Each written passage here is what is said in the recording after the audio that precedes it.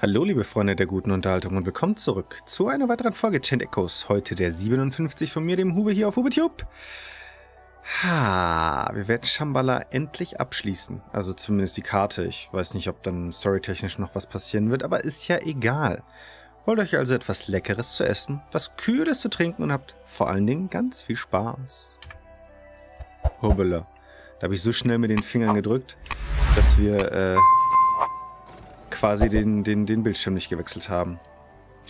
Ja, wer sie gesehen hat, in der letzten Folge haben wir, ich sag mal, das Rätsel rund um die Shambhala-Insel komplett geklärt. Ah, okay. Wir sind geforst. Ist ja auch in Ordnung. Mato sagt, wir sind den Ruinen nahe. Die Kirche hat eine Einrichtung auf dem Eingang platziert. Da müssen wir erst durch. Eine Einrichtung? Wird uns die Kirche passieren lassen? Ich sorge dafür, mach dir keine Gedanken. Ich verstehe es, Sir Egil. Und du hast dein halbes Leben in Dorva verbracht? Ja, ich wurde geschickt, um Weisheit zu suchen, damit die Sofa mehr über die Welt lernen können. Irgendwie endete ich im Dienst von Sir Isaac. Er war ein sehr großzügiger Mann und er hatte noch nie einen Sova wie mich gesehen. Und nach deiner Ausbildung bist du zu deinen Leuten zurückgekehrt? In der Tat. So wie ich es versprach, ging ich zurück, mit einer großen Menge an Wissen in mir. Und seitdem arbeite ich als Wache.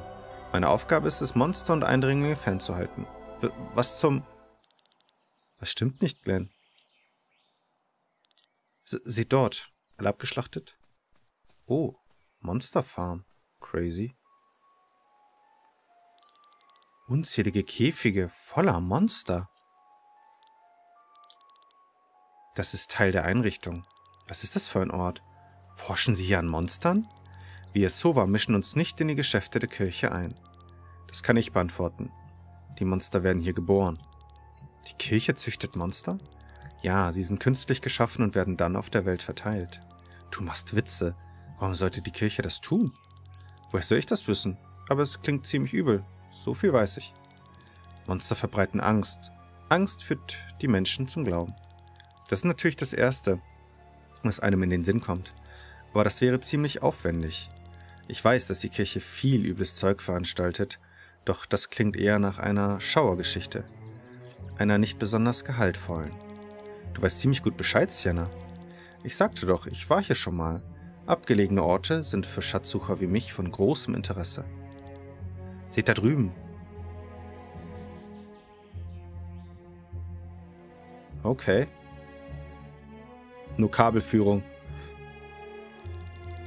Sie verfrachten tatsächlich Monster von hier in die Luftschiffe. Bitte kommt, lasst uns weitergehen. Ich hätte gerne die Insel so da unten noch ein bisschen erforscht, to be honest, aber gut, viel gibt es hier scheinbar gar nicht. Dann nehmen wir hier Buch aus vergangenen Zeiten mit. Die Kaffeebohne. Ah, Links oben ist noch ein äh, rechts oben ist noch ein bisschen was. Ah, schön. Wie gut, dass wir in der letzten Folge den Typen hatten, der uns noch mal eins mehr hier gibt. Also, gefunden hatten. Okay, in das lustige Gebäude müssen wir wohl rein. Da ist eins Forscherin. Eins Rosse. D diesen Ort darfst du nicht betreten. Ha. Ha, ha, ha. Ah.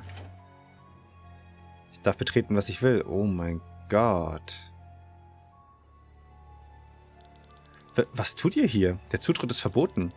Mato, du wolltest mit ihnen reden.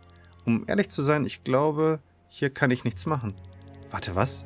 Du hast gesagt, du würdest dich drum kümmern.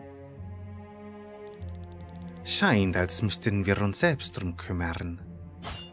Okay, chillig. Verdammt, benachrichtigen den Kommandeur. Ist Mato ein Verräter? Was soll das? Finger weg von der Kirche. Mato, was dachtest du würde passieren, wenn du uns hierher führst? M Mato? Wo ist er? Etwas nähert sich. Wir haben kein gutes Gefühl bei der Sache. Lasst uns schnell diese Ruinen finden. Okay. Okay. Es wurde vor zwei Wochen geboren. Wenn wir es mindestens ein Jahr am Leben erhalten können, wäre das ein Volk. Okay. Es wird wohl der Boss hier sein. Ah, du hast nichts gesehen. Naja, doch. Schon.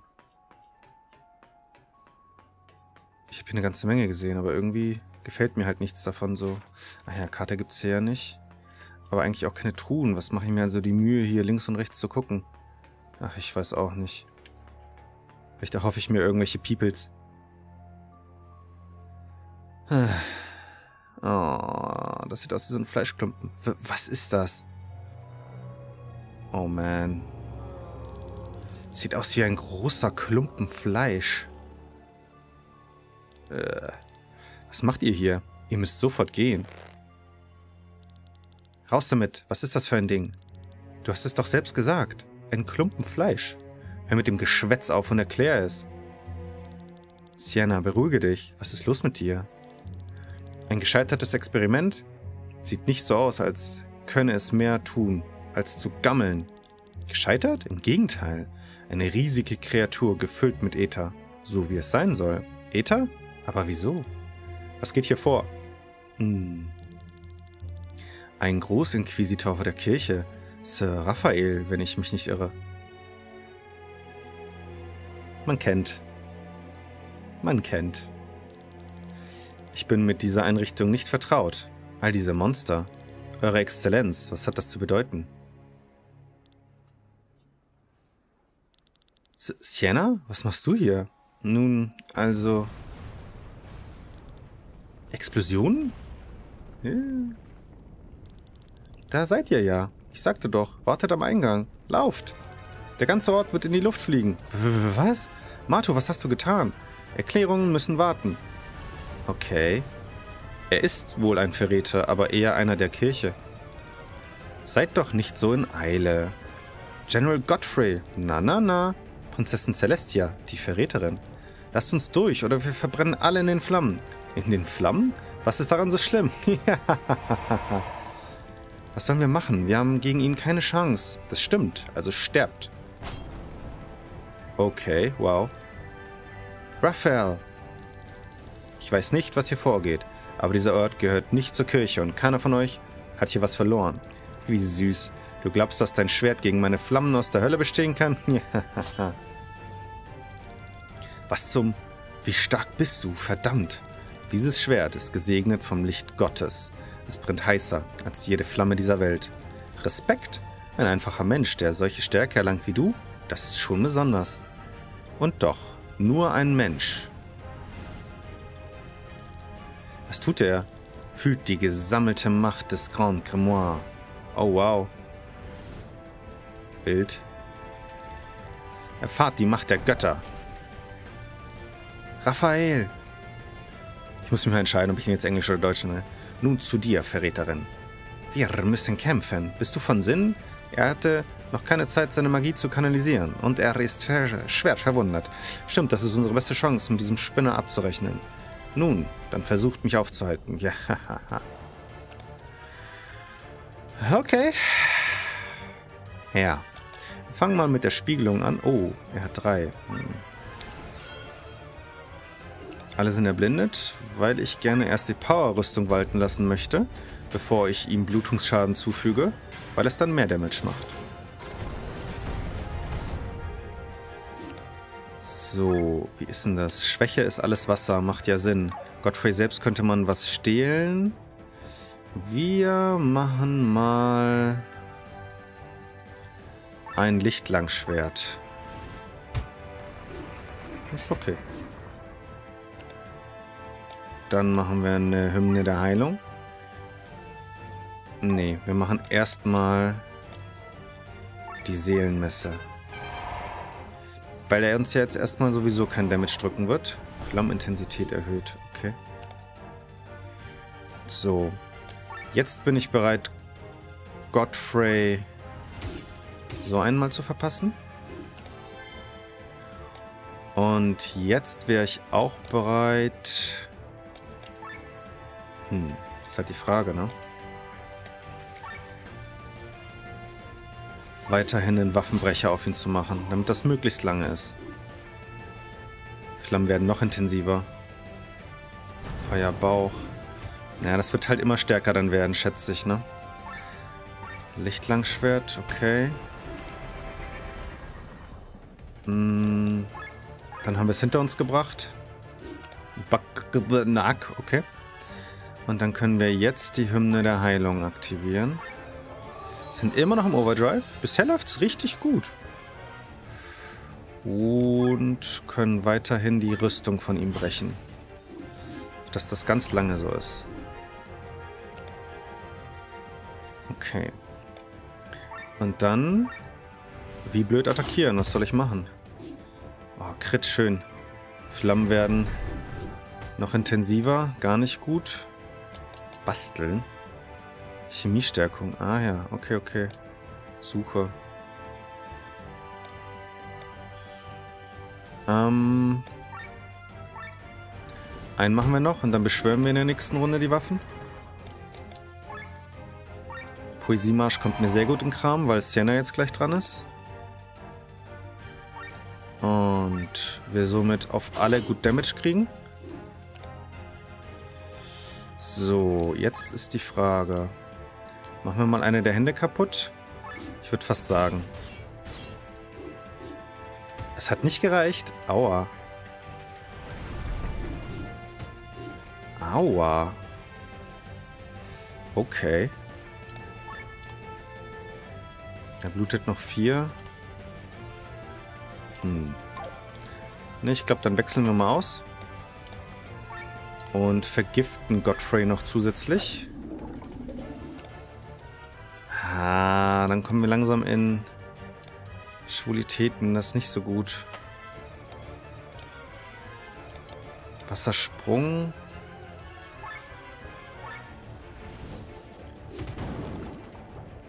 Ah, das verringert auch die Flammenintensität. Das war jetzt dementsprechend sehr wichtig. Ah, die Saugerdinger. Energieleihe macht bei Victor Sinn. Okay, dann ist es ja wichtig, dass sie hier hilft. Könnten mit einem Masurka-Schirm so ein bisschen arbeiten. Ja, ich glaube, das mache ich einfach mal. Ah, da muss er beleben. In Ordnung. Diese Welt wird nicht von Adligen und Nicht-Adligen gespalten, sondern von Machthabenden und Nicht-Machthabenden. Das ist der Unterschied. Ich wurde in der Gosse geboren, aber mit diesen beiden Händen habe ich mir den Rang eines Generals erarbeitet. Ich habe mir diesen Platz in der Welt verdient. If you say so.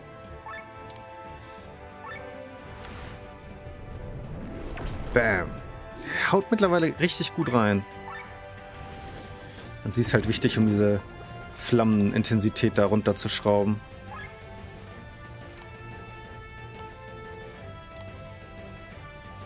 Das ist halt die Frage, ey. Ich irgendwie beide killen muss oder so?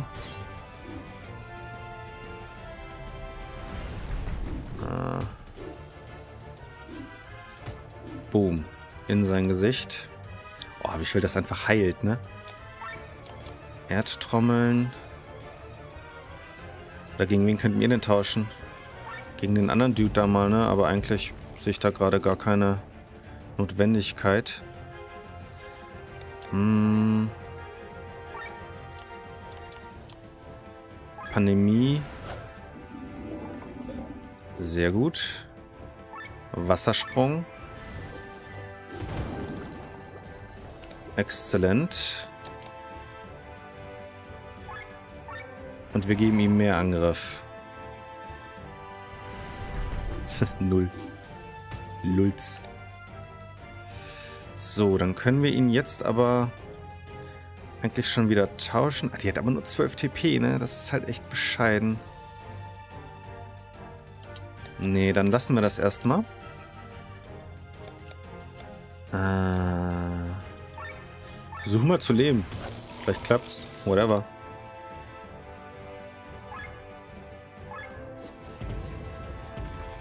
Die Erdtrommeln hauen richtig gut rein. Oh, wie schön, dass der Kreuzhieb gerade... Boom, boom, boom. Das sind die Grenzen meiner Macht. Du bist wie Matthew. Was hat es mit der Machtgier von euch Männern auf sich? Du beißt immer mehr ab, als du kauen kannst.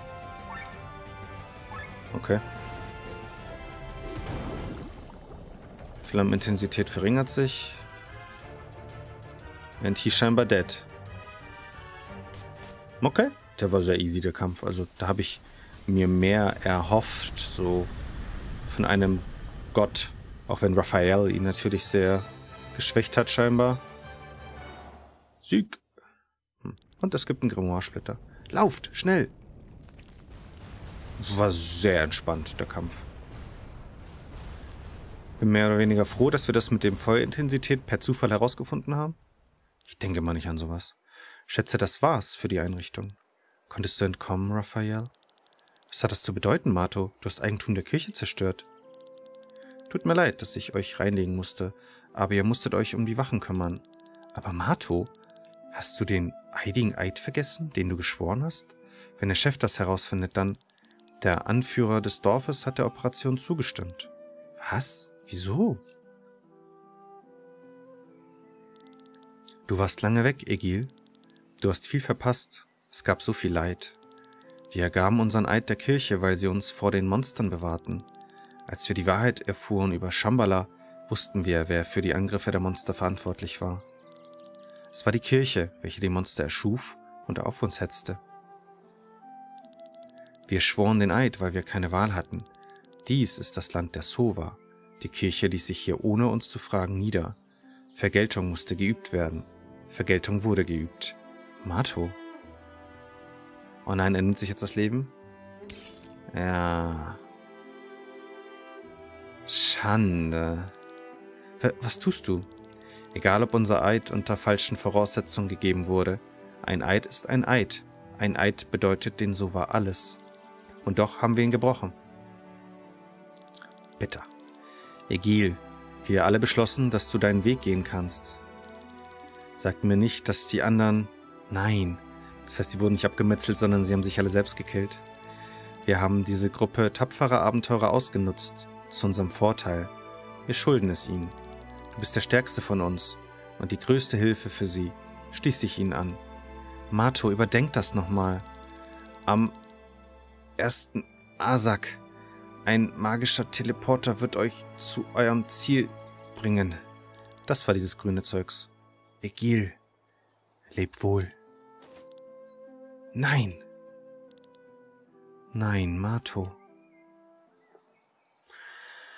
Wow. Er hat ein bisschen Gänsehaut. Und Raphael hat's geschafft. Gut. Denn auch bei ihm wird jetzt entsprechend ein Groschen fallen, glaube ich. Eure Exzellenz, was ist mit diesen Monstern? Warum all das? Ich habe das Gefühl, und es hat, glaube ich, diese eine Sequenz so ein bisschen gezeigt, ohne dass ich es im Moment der Sequenz gecheckt habe, dass Gawain dieser Exzellenz-Dude ist. Weil der hatte sich immer kurz in ihn verwandelt. Das kann man auch interpretieren als halt eine Mirage, als irgendwie Abbildung, aber hm, sollten wir nicht Sir Egil helfen? Er bestand darauf, es alleine zu tun. Oh, er hat sie beerdigt. Hm. Ich bin fertig, sie sind alle beerdigt. Egil. Ja, es stimmt, sie waren nicht immer nett zu mir. Ich war mein halbes Leben lang weg, also kannte ich sie kaum. Ich war wie ein Fremder im Dorf, ein Fremden, welches nicht wusste, wie man Fremde behandelt. Ich bin nicht säuerlich sauer. Ein Dorf, ne? Schon, was ist das für ein Satz, aber der war dumm von mir vorgelesen. Sir Glenn. Äh, ja? Hier hält mich nichts mehr. Die Sova wollten, dass ich euch helfe, doch diese Entscheidung liegt allein in meinen Händen. Ich werde mich nicht an einen Eid binden, wie Sie es taten. Warum sagt ihr mich nicht, was euer Ziel ist? Und dann entscheide ich, ob ich mich euch anschließen werde. Dann lass mich der Erzähler dieser Geschichte sein. Ja, das ist, glaube ich, ehrenvoll genug für ihn. Da wird er schon nicht Nein sagen. Ich verstehe. Okay. Ich verständlich verstehe. Also, wenn das so ist. Was? Ihr seid eine Gruppe von Widerständlern, die eine Massenvernichtungswaffe gestohlen hat und versucht, das Land von der Tyrannei zu befreien? Ähm, unerwartet. Aber ihr wollt dieses Grand Grimoire vernichten, habe ich das korrekt verstanden? Das ist, wofür wir unser Leben riskieren, ja. Und einen Tyrannen zu stürzen, klingt nach einer nobeligen, noblen Geste. Also gut, als Ritter des Dämmerblauen schließe ich mich euch an. In gutem Glauben. Mit eurer Erlaubnis natürlich stolzes Mitglied der Sova-Community auf Shambhala. Er wurde auf den Boden geschickt, um Wissen über Eldrea zu sammeln und es nach Hause zu bringen. Dort traf er den Ritter Sir Isaac von Dover und wurde sein Knappe. Am Ende seines Trainings ging er zurück in sein Heimatland. Wegen seiner angeborenen Unfähigkeit zu fliegen, wurde er von anderen oft geärgert. Mobbing ließ das. Du sollst uns begleiten, sofern du versprichst, nicht im Weg zu sein. Wie großartig, er kommt mit. Er sieht so freundlich aus. Und flauschig. Ausgezeichnet. So lass dies mein Eid sein. Ich beschütze die Karmesinschwingen und unterstütze ihren Weg, Valandes von der Tyrannei zu befreien. Ich glaube, wir brauchen kein Eid, um dich willkommen zu heißen, Sir Egil. Mato sagte, der Teleporter zur Zuflucht sei beim ersten Asak im Norden. Lasst uns dorthin gehen. Quests erschlossen, abgeschlossen, überhaupt und sonst was. Hier sind auch nochmal zwei Truhen. Ich will nur nochmal ganz kurz gucken gehen. Nee, da kommst du irgendwie immer noch nicht hin. Na gut, dann sei es so. Neue Talente mache ich auch gleich auf Screen. Ihr Lieben, wie immer, vielen Dank fürs Zusehen. Ich hoffe, ihr hattet Spaß. Ich hoffe, ihr hattet Freude. Und dann begrüße ich euch jetzt schon mal herzlich im, im nächsten Let's Play zu Chain Echoes. Danke. Bis dann. Tschüss.